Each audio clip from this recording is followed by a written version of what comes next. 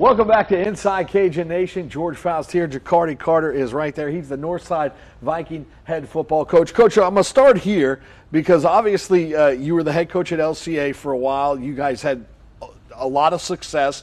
Uh, you were able to kind of win state championships and not kinda, you did it. and then and then you, you take a take a uh, uh, an assistant job at Northside, kind kind of get building things back. Now you're the head coach. Is it is it a different role being the head coach now? Uh, do you have to get re, reacquainted with you know what you say goes type of uh, mentality? so. Um, last year working with Coach Simmons, he definitely respected me because he, he was a coach um, sure. when I was a player at Northside. Okay. So working with him, it wasn't it wasn't really it wasn't bad at all. He was um, very res- respectable and he respected what I did coming into it. So he was he was pretty much like hands off when it came to defense. Like, hey man, do what Go you ahead. do, work, work right. the magic type right, stuff. Right, so it wasn't really. Uh, I didn't. I never felt slighted in my role. I never felt like it was like I, I, felt I felt comfortable in that role, yeah. but I also feel a little bit more comfortable in this role as well. Absolutely, and so now you kind of uh, can set out uh, what you want to do offensively and defensively, and kind of kind of oversee both. And and uh, I'm curious because you know for for the longest, obviously Northside ha, has a rich football tradition. They, it's there. In 05, you know, I covered uh, Keelan and those boys, uh, Coach Derwin, when they got had, had, a chance to get to the state championship.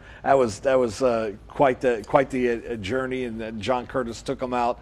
Uh, uh, but John Curtis takes out a lot of teams. but but but obviously there, there's some tradition there that you're trying to regain and recapture. can you talk a little bit about what you guys are doing? to kind of make that happen uh, as you move here, move forward here in 23? Um, so one thing majorly that we're doing is uh, baseball has a fundraiser where we're doing an alumni softball game. so to get the alumni and community more involved, because Northside has always been a community school and the community uh, involvement has been big. Um, you come to a game, or back then when you come to a game, it was a cookout. It was a you was having a, you were having a yeah, blast. Yeah. Um, for lack of better terms, it was a block party. Um, good, clean block party. Sure. Um, and a lot of excitement around Northside. And so part of bringing that back as well is bringing some of the coaches back who had some success wearing the red and black. So we kind of we really striving to revive the side. Um, that's kind of hashtag the, the, a little yeah, slogan yeah, we want to go with.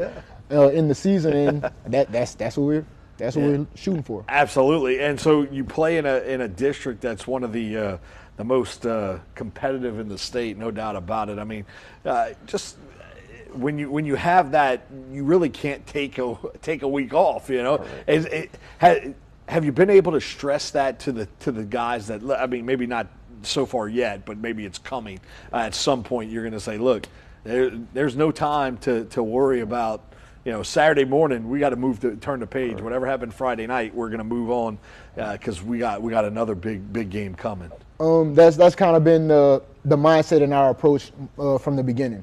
Um, knowing our district is tough, we had the three of the top four teams in select came right. from our district. Uh, we had Teurlings playing LCA in the semifinals. LCA goes on to the finals against STM, who blew out their competition to get there. So. It, and that was a, a, heavyweight fight in the championship between uh, STM and LC. Correct. Not to mention, North Vermilion made it to either the semis or the quarters right. um, in the non-select. I, am sorry, I wasn't following that one too closely, but that's right. not. No, I get it. I get so, it. Um, but yeah, they, they, they did pretty pretty good as well. So yeah, every week it's a it's pretty much a juggernaut of a schedule. Um, and then some crazy lunatic scheduled Catholic of Baton Rouge. What's, I don't know. Is that you? With, you did that? What's the matter with you? did you really do yes, that? Yes, I did. Yeah, so, so, going into the district, yeah. I felt like um, it would be a way to gauge ourselves and gauge yeah where we are because that, that's that's, that's one of the. Do it. Is that there or here? It's going to be over there. It's going to yeah. be over there. So you got to get on the road, head over to Catholic, and, and take care of that. Hey, look, you know what? That that's the same. A lot of teams do that. You know, they they play tough non-district schedule. I mean, your district schedule's something to be said for. But but you know, you play a schedule that's going to beef you up and test you Correct. because when you get to the postseason that's you you don't have any time to to to think about it, right? I mean, you have to win in the postseason. And if you're battle tested, it doesn't matter where you get in it.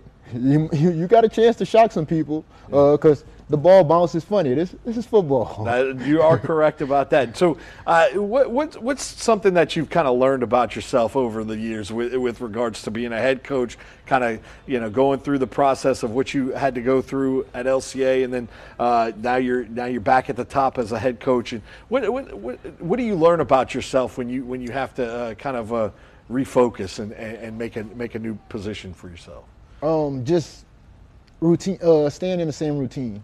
So Yeah. even after everything happened at LCA, I was still waking up, working out at 5 a.m. Just, you know, just staying into that same routine, praying, fasting, doing all that same stuff, and studying, um, trying to create tapes. You know, because it was we, I learned a lot about myself in that season at LCA. I Yeah. learned that I was so I was very very passionate about coaching. The one thing that I said growing up, I, man, I don't want to be a coach. Nah, that's too easy. Nah, nah, that's just not it. Right. But now I now that I'm into the role and I, I've kind of stepped into it and now I'm owning it. Yeah. Um, I I get to I get to go out and coach every day. Like Sure. um, I I accepted a role as the assistant baseball coach. So now we do football workouts, then baseball workouts, but I still feel like I'm not even working. Um, I'm, And, and you know what? That's the best way to be. If you if you can do a job that you love, you'll never work a day in your life, right? That's that's what they say.